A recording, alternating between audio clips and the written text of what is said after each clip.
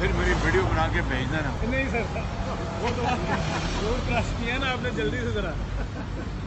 video बना के sir वो अच्छी वायरल हुई है मेरी वीडियो बना के फिर भेज देना सर नेक्स्ट टाइम आप जरा पंडित क्रॉसिंग से जाएँगे